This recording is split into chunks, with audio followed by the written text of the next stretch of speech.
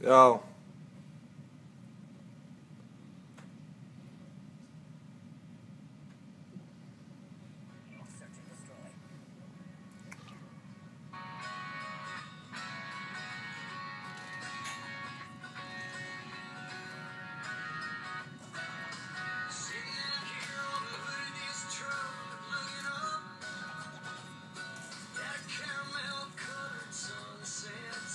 What the fuck is going on, dude?